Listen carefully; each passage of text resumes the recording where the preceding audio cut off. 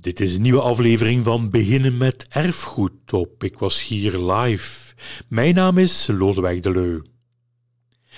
Februari is heutelingentijd en een drukte van je welste in de Vlaamse Ardennen.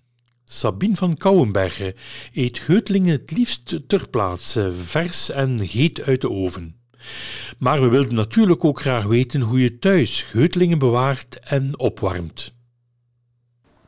Ik ben van Kouwenbergen Sabine. Uh, dat is een periode van de geutelingen. En de geutelingen die beginnen vanaf 21 januari tot en met 24 februari.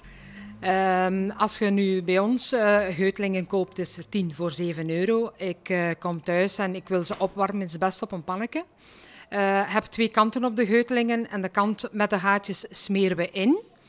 En dan zorgen dat je de, met boter smeren we ze in. Dan zeg je best dat je twee heutelingen op elkaar legt en zorgen dan allebei de kanten, de onderkant van de pan. En dan zijn ze best, je kunt ze best van al uh, dan nog een keer insmeren als je ze eet met bruine suiker, eventueel mensen met confituur. Dat is elk een persoonlijke smaak.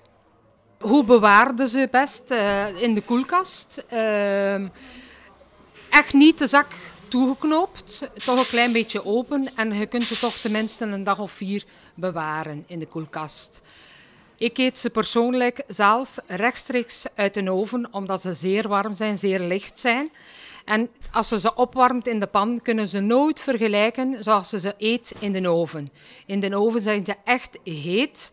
En als je dan ze uh, insmeert met een heel klein beetje uh, boter en suiker en feitelijk uh, iemand die een beetje zout is, dat is dan nog een speciaalere smaak bij. Maar dat is elk een persoonlijke, elk een persoonlijke smaak.